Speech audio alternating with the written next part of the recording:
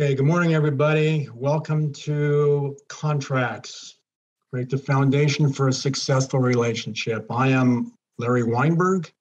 And Henry, you want to click the slide and show, uh, get it started here. So as you can see, I'm a SCORE volunteer and mentor. I've been a coach for approximately 10 years, and I've been self-employed as a, started off my career as a, in the carpet cleaning business, um, migrated to asbestos abatement from 85 to 93, doing mostly public works, and then finished my career for over 20 years in the disaster restoration business, including being fortunate to having sold my business to quite a national cleaning company. So that's me. And Henry, take it away. And I'm Henry Burton. I am also a SCORE volunteer and mentor. I've been doing this for a couple of years this time.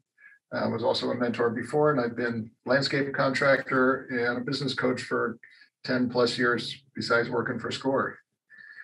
So as Larry said, today we're talking about contracts, um, which in general is just an agreement between two people or two companies or more people um, that is very specific about what it is you're going to do. Um, so the basic elements of a contract are an offer. So I'm offering, a, I'm going to offer to build a deck for Larry. And so we're going to talk about what that offer is um, and includes a promise to perform. So in the contract, there'll be a clause that says, you know, I'm going to do this uh, in return for valuable consideration. Um, so we're going to lay out the scope of the work.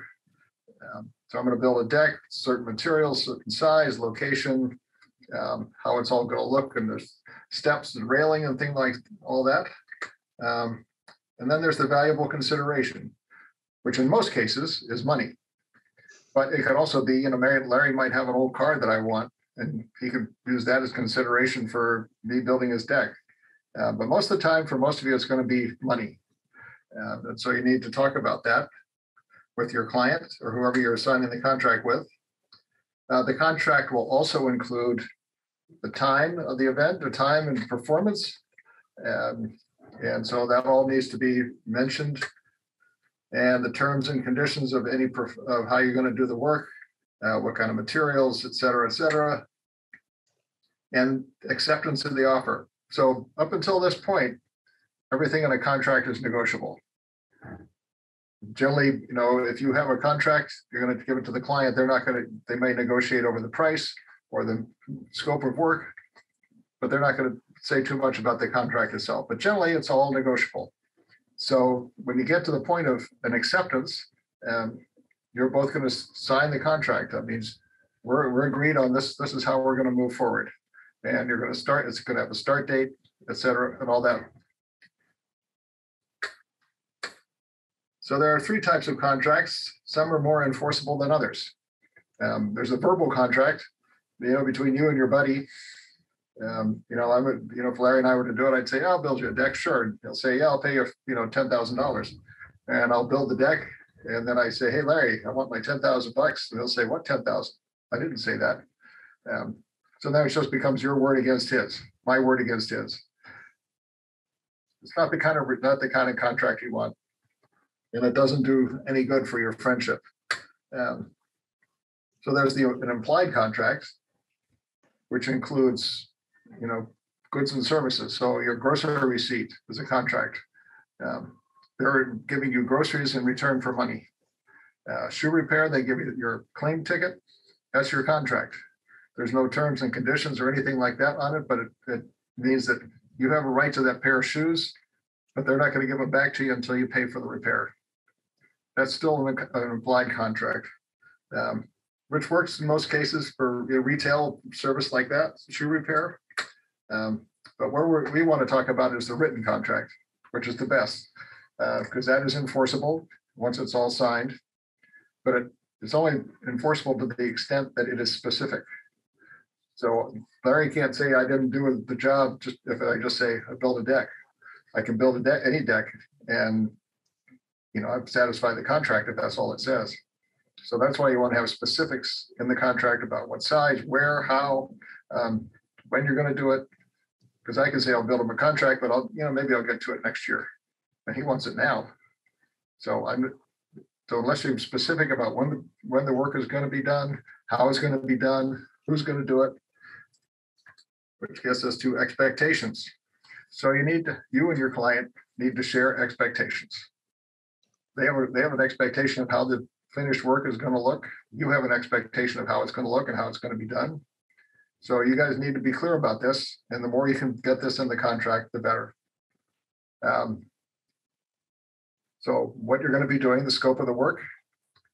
Um, will you be using subcontractors or, or other, of your own materials? Um, That's all negotiable. Uh, The main thing here, here is, is the client gonna be allowed to help you? Um, As a landscape contractor, I had several times when the client wanted to help me, help us do something. And, you know, most of the time it worked out, but every once in a while, it was not very good. And the friendship didn't last very long after that, unfortunately. Um, so I'd be leery about, you know, letting a, letting a friend help you on your job. Um, or the client help you on your job unless you really trust them to be able to do the work.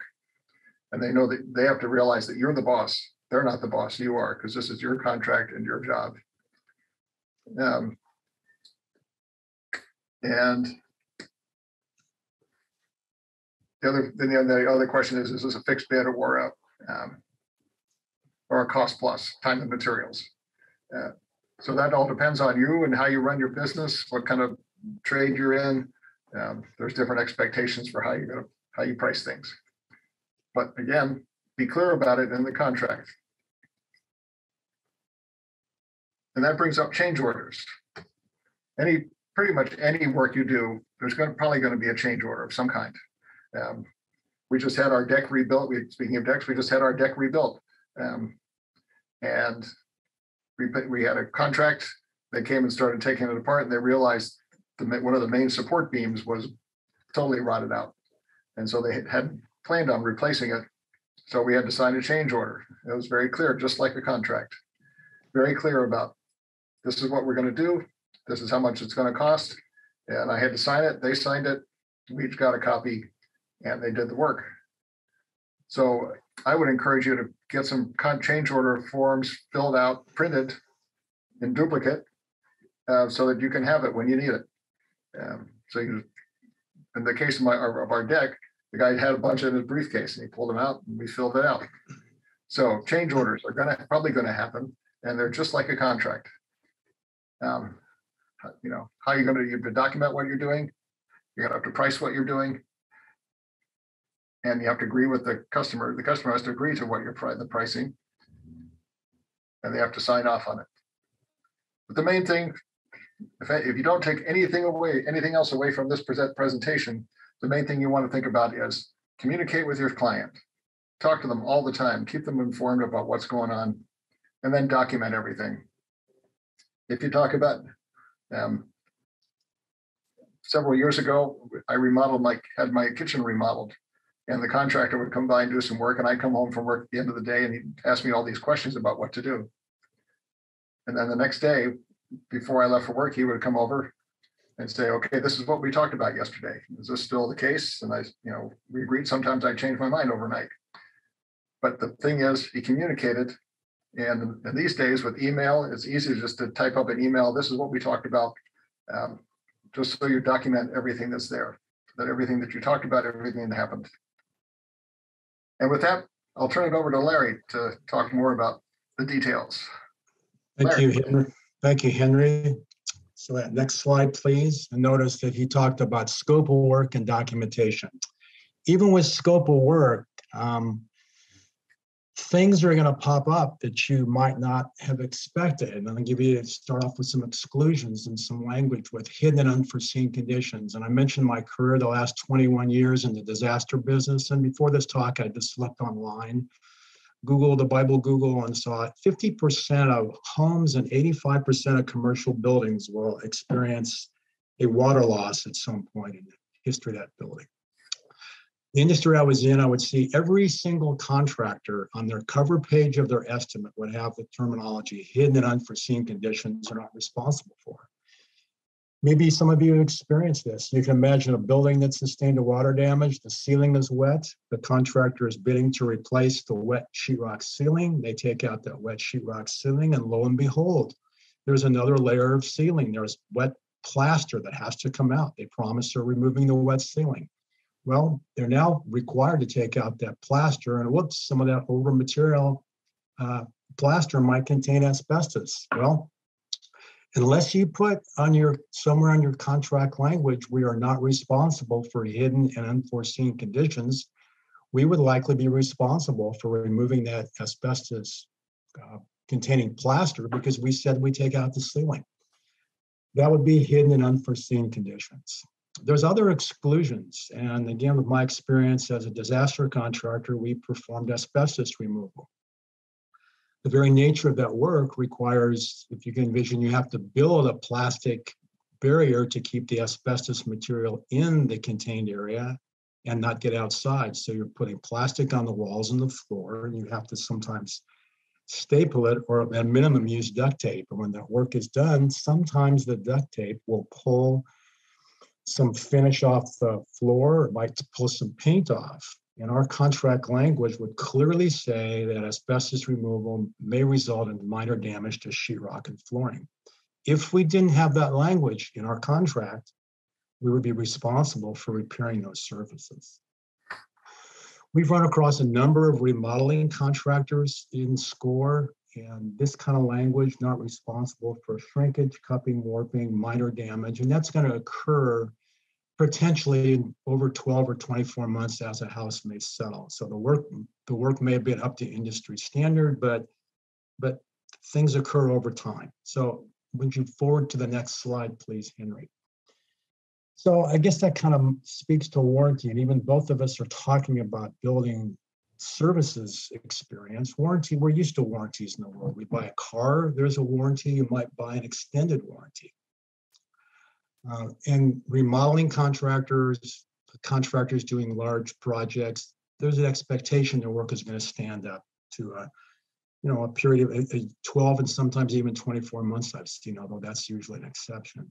There's also what I would call an implied warranty, uh, which would uh, allude to an industry standard for the work. And for example, our work as a water damage contractor, if a building got wet, we have to take out uh, the carpet, uh, take out the wet pad, dry things out, reinstall the pad, put the seam back together, clean the carpet. And after a month, if a customer called to say, hey, this seam you put in has fallen apart, um, we would have to come back as an industry standard for quality workmanship to do that repair because the repair work we did was not up to industry standards.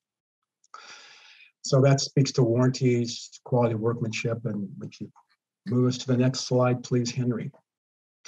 Um, oops, sorry, I missed that uh, last topic. This this topic here of dispute resolution. There's going to be times where you and your client customer disagree about certain facets of the work and maybe the bill if you can't come to a mutually agreeable solution, what do you do? And your contract language should should have language that addresses that. One form of dispute resolution, if you the two of you cannot come to an agreement, is mediation.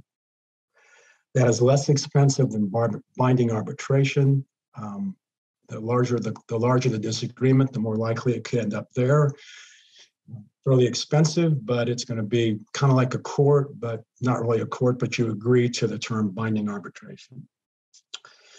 Again, we've had some remodelers that have had some issues with jobs where clients were unhappy with the work and wanted to fire them. Um, this RCW, RCW stands for the Revised Code of Washington, which is under the auspices of Washington State Department of Labor and Industries, which sets guidelines for construction and clients and contractors, subcontractors. An instance when perhaps you made a mistake on a job and was the, the client got a bid from someone else to fix that for $10,000. This law gives you the right to repair that work, even if they want to fire you for the balance of the job. Hopefully, you don't run into any of these types of problems and your argument is less than $5,000. You can you can serve the client, you can go to small claims court, but you cannot ask for more than $5,000. But recognize it is a court, there's a judge, because of the amount of money in dispute. Nobody ever hires judges.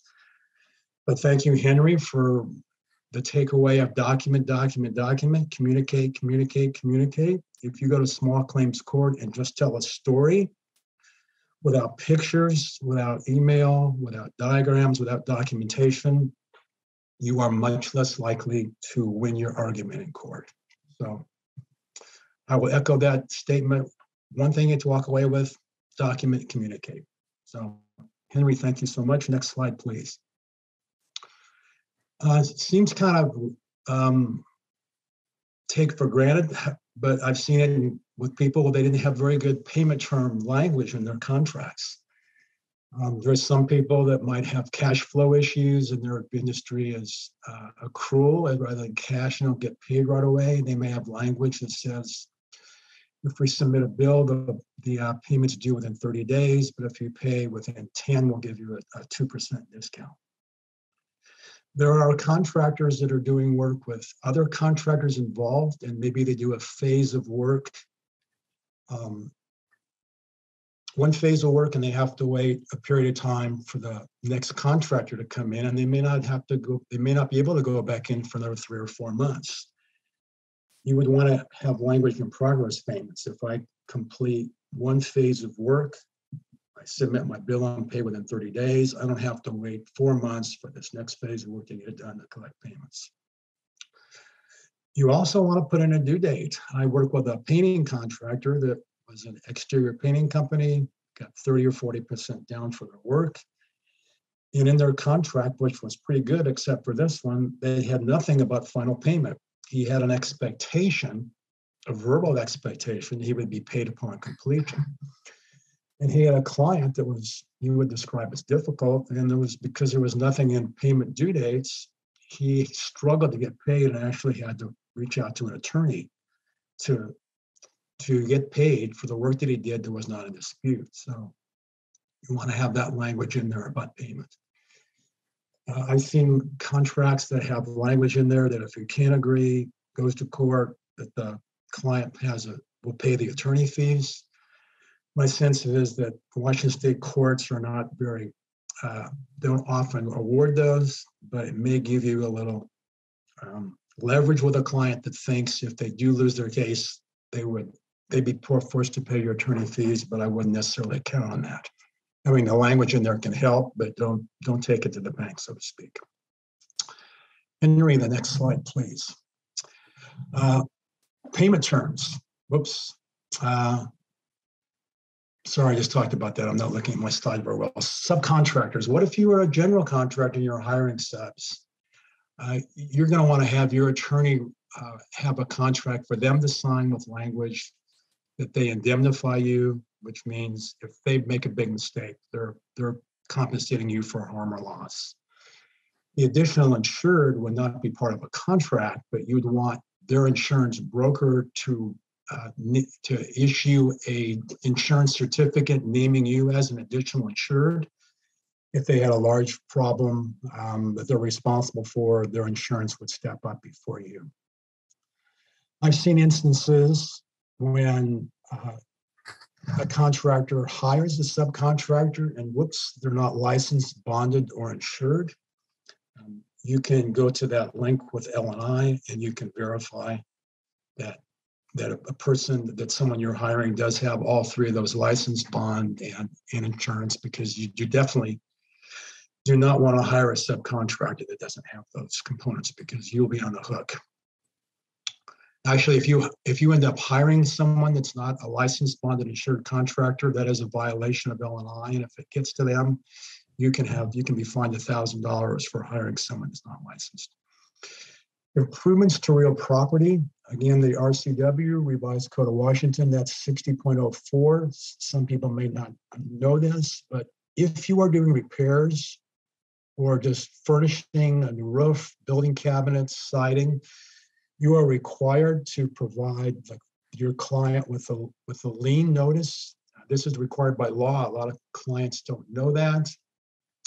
Um, I think it's a differentiator. You can distinguish yourself from those that don't do that. And if you're hiring um, plywood supply, someone to furnish cabinets or siding materials, they will likely uh, submit to your client a notice of lien rights. In a worst case scenario, you, you don't get paid. If you're filing all the paperwork associated with this, then you can successfully lien their property. Hopefully that doesn't happen, but that's one of the options open to you. And again, required by law. Henry, next slide, please. Uh, What if you're a subcontractor to a larger, to, to the general contractor? Well, recognize it's not likely that you, that they'll sign your contract, you'll be signing theirs. And some of the things to look out for when you're signing theirs are, you better read it all, and I capitalize carefully, because you may end up having to have, next, next bullet point, please, Henry. Um, I've seen them where they're gonna ask the subcontractors to have $2 million of general liability insurance, which is, none of us usually carry that, so that would cost you more money. Next one, please. Uh, Payment terms. We, we have a number of uh, clients doing public works. Um, uh, You, you may not get paid for a while. The government has to get all the paperwork in, in, uh, in their possession before final checks are paid, and you might be out five to 10% before the job is paid in full.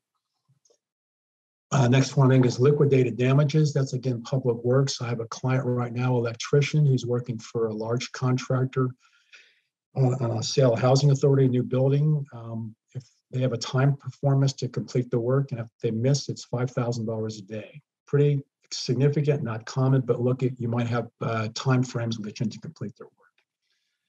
The next few you can put out there real quick, Henry. You got disputes. You want to look at the language, how disputes are addressed, site conditions. You may have significant cleanup every day. And just look at anything else. So lawyers, I think you're going to want a lawyer to help you with your contract. Um, I had my, my lawyer draft contracts. He was a high-end land attorney, uh, land use attorney. and my contract, he had disputes would be solved by binding arbitration. I was in small claims court the last time, and this judge was very, very detailed. She looked at my contract, said, you can't be here. Your contract requires binding arbitration, no small claims. So that didn't work for me. So, I just want to, Yeah. I can just jump in here, Larry. Um, I just want to add, that it's, it's good to find an attorney as soon as you can and build a relationship with that person. So if you do get into trouble, um, when you call them, they answer the phone and they call, or they call you back. Um, as opposed to calling somebody off, the- out of the blue and you may not hear from them for two or three weeks, if all, if at all. great, great point. And, and when to use leads us to the last slide. So I call the last slide final thoughts. You're, we've said this more than once, a good contract is helpful, but it's only the start. Without your good, good communication and documentation, uh, the strength of your contract will be diminished. And speaking of lawyers, here's the cautionary tale, a true story. Um, I, uh, my company did a job with a uh, my adjective, an unscrupulous, sophisticated, large property owner manager. They had a, uh, a uh, large building in Seattle, old building leaked. We were, our job was to remove the asbestos from the concrete ceilings and the, and the upper two feet of wall from four apartments. This was a phased job. We would do two, repair those units, the tenants would move to these two, we do the next two. As we took these top two feet of wall out of this building that had sustained significant water damage, we exposed the inner cavity, and there had been so much water damage over the years that these metal studs had actually in spots, the top two feet of wall was were gone, it rusted out. We stopped the job. We called the owner of the company. He, he looked at it. Their third-party coordinator, the industrial hygiene firm, met us. We looked at this. The agreement was just take out the rest of the rusted material uh, and move forward. Uh, we did that.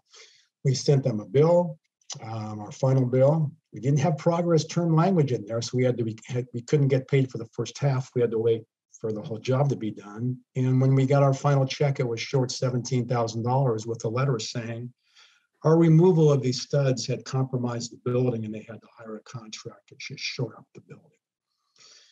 Well, our project manager had not executed a documentation that we, we all met on such and such a date. We noted this damage. The agreed upon work was to remove this additional metal stud, agreed and noted by all three parties. He didn't do that.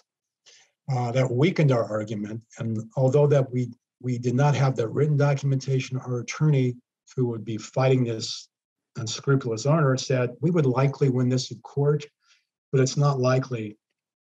We likely win in court, even though it wasn't documented, because all three parties, including the industrial hygienist firm, was there. But we wouldn't likely be awarded attorney fees, and the attorney fees would have exceeded the seventeen thousand dollars we would have collected. So documentation will help, it won't always guarantee, and maybe one of the last comments is, uh, take a look at your clients, and sometimes uh, some of the best clients you, uh, you get are the ones you choose to walk away from. So with that, thank you so much for your attendance today, and we look forward to your questions afterwards. So thank you so much. And our contact info is on the screen there, so feel free to shoot us an email if you have questions. Thank you so much. Thank you.